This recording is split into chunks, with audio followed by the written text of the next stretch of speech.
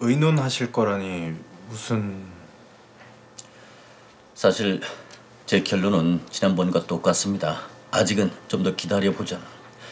근데 말씀은 드려야 할 것 같아서요. 네 말씀하세요.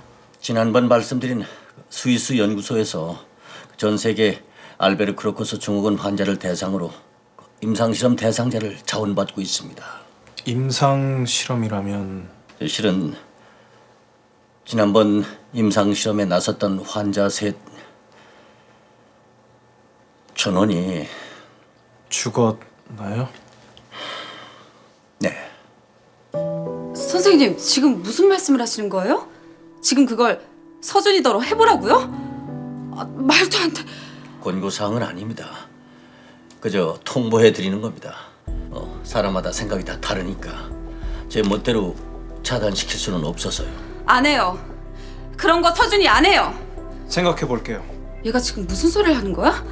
생각할 필요도 없어. 방금 못 들었어? 저런 다 죽었대잖아. 아, 말도 안 돼. 공문 받은 거 있습니까? 예.